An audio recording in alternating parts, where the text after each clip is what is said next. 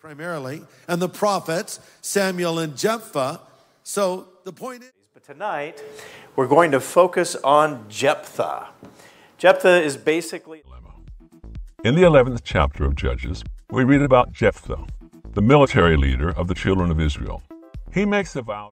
The next main judge is Jephthah, who's something of a mafia thug living up in the hills. And when things get. Chapter 12, you have the story of Yiftach or Jephthah, who fights against the Ammonites.